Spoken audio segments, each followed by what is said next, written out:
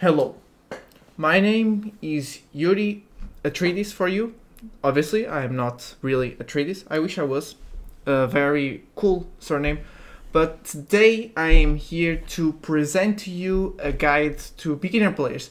If you were once, or you are actually, and I was once some of a beginner player, you find the Dune Spice Wars a bit confusing.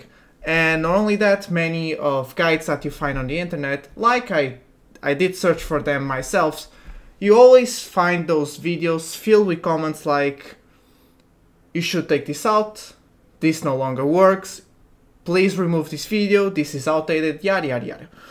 So, I decided to go on a mission to make the perfect guide. Now, to make this perfect guide, I am not gonna tell you like other guides do. They pretty much try to hold your hand and try to tell you exactly what to do, and that is the mistake. I am not going to do that. What I'm going to do is I'm gonna divide my guide in various parts where I just explain the beautiful mechanic that is Dune Spice Wars. Then you shall go to your games and explore yourself. So I'm only here to tell you the basics. That is all. And we shall go from very little videos, very short videos, I hope, and we'll go through parts where I'll try to explain every single mechanic that you need to understand. And after that, just go to your games and you shall do what you want to do. This is because every mechanic is very hard to master, but it's very simple to actually understand. And that's one that's the knowledge I'm going to transmit to you. What is this first guide going to be about? The very beginning of the game, before you jump in, before you the very first steps that you need to take. And the next video is going to explain how the map works and how the villages works. The next video shall be the spies, how they work, how you make operations and so on.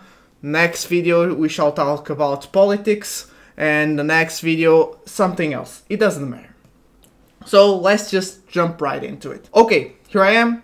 And this shall be the very first thing you need to choose. The very first thing you need to choose is the faction that you're going to play. There are various factions, uh, and I'm not going through all of it. Again, I'm not going into specifics. I'm just going to explain the basics, and then you shall do what you want to do. But first thing you need to is to uh, just pick a class, a faction. Any faction works, by the way. Uh, there are some that are better than others, obviously, but because this guide is forever and for all eternity, what works today and it's probably the most powerful faction today shall not be the most powerful faction tomorrow and when you are watching this video.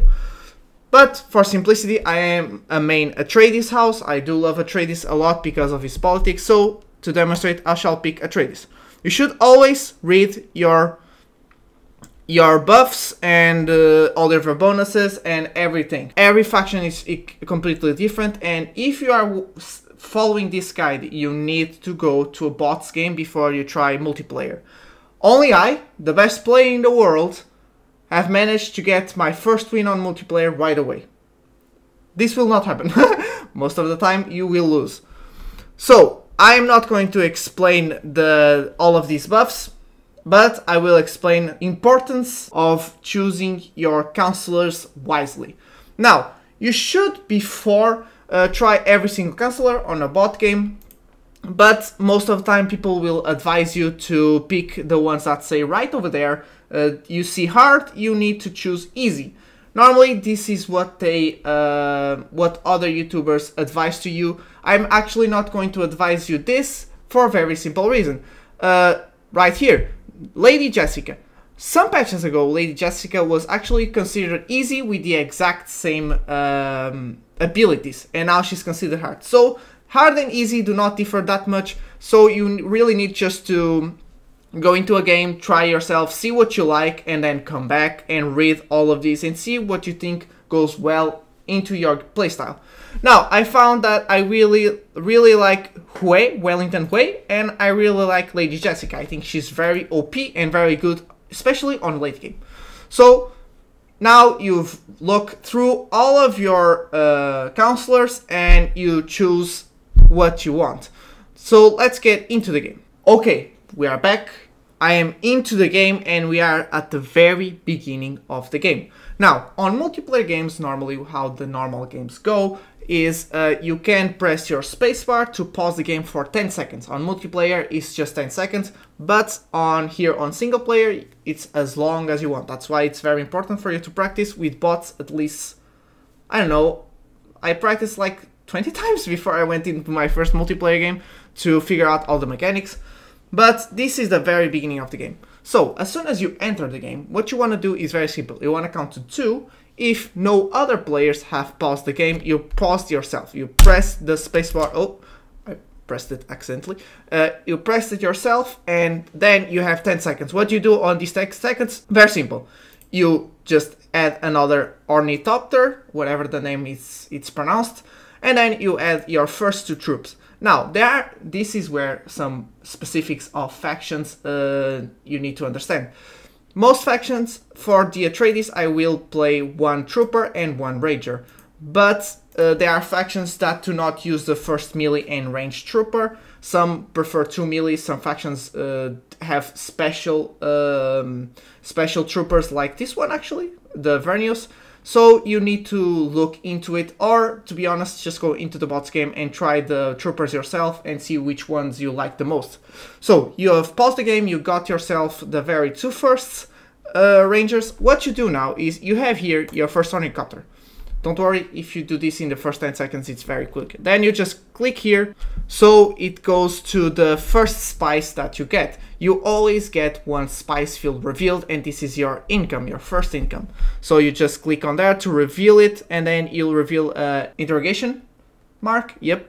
And you just hover over there to get the village. And then after you do that, you, by the way, at this time the game should be unpaused, by the way, so let's just unpause and then it starts going and then you just scroll all back to see where you are on the map. This just to give you information where you build, uh, where you will be uh, expanding to. That's just it. It's very simple. So as you guys can see, uh, I paused the game again, and now we have the first uh, interrogation uh, mark, and our uh, troopers are are still on their way. Now I've paused the game, but what you want to do is you don't need to pause during this. I've sent my, I'm just gonna call it helicopter, over to the village to start discovering and then you have here rally point. What is rally point? Rally point is where you choose where your troops are going to drop. So as you can see this is a very big circle and I can just make my troops just fall right into that village so we can save time. Time is of the essence here. So I'm just gonna do that. Remember press rally and just click on it. This is the very basics of the of the game. This is what you want to do every single time. Um, so let's just get over this. I'm gonna go and conquer my very first uh, village. Village should be very easy to get, the very first, because the closer they are to you, the weaker they are. As you guys can see, they only have two troops, always, every time, don't worry. Okay, I am back. I am now conquering the very first uh, village. Now, after I look at the very first village, I forgot to say something, which is you should always, after he discovers, your helicopter discovers your first village, you should always just go over here and turn your auto recon on. So he just starts discovering all of your map alone without you having to tell him what to do. I just like to turn this on after he gets the very first village, but I kind of forgot, sorry. So now you get the very first village. After this, I'm not going to explain anything else on the map. This is going to be the, the next video, but I do want to explain every single way of you winning the game. Now, you have the most simple way, which is here, hegemony. How do you get hegemony? Very simple, by just progressing through the game uh, conquering other villages, uh, upgrading your uh, your villages that you own, upgrading your character in the skill tree, uh, so on and so forth. Pretty much this comes naturally. There are some factions, obviously, that do speed up this process a little bit, but this depends on the faction. But that is the first way to win. What is the second way to win? The second way to win is with the Well, the very simple way, which is just to destroy every single one of the three factions. Like normally, you pick up your army, you go to their base like this, like this one over here, and just destroy them. And they perish, they, they are gone, they, they, they do not come back. So that's the second way. The third way is uh, the uh, politics way, which I cannot tell you here because we do, did not unlock them. So I'm just gonna go over now for in a game where I can show you how to do it. Here I am back and now I'm going to explain the other ways to win. So first is Hegemonia, as I told you, you need to get to 30k I believe. Uh, this is a game that I uh, prolonged uh, because I was just having fun. So here you have hegemony, you get to 30k and you win, the first one to get 30k wins. The second way is by just destroying, by sending your army onto other territories and destroying their base. Third way is here, CHOAM market. Now, it, as you can see, by the way, once you get close to one of the ways of winning, it shall appear here. So if your opponent is close to winning, you need to do countermeasures. But here is the other way. This is the CHOAM market. What is a CHOAM market? Uh, kind of a crypto uh, market, so to speak. And what happens is, how do you win by uh, the CHOAM market? You need to get 50 shares of, 50% uh, of the shares of this CHOAM market. How do you get it? Very simple. You go over here and you buy some shares. Now, the value of the shares might go up and down in increase depending on the Landsraad Council. I'll get to that, don't worry. But as you guys can see here, we uh, buy 5 and here we buy 20.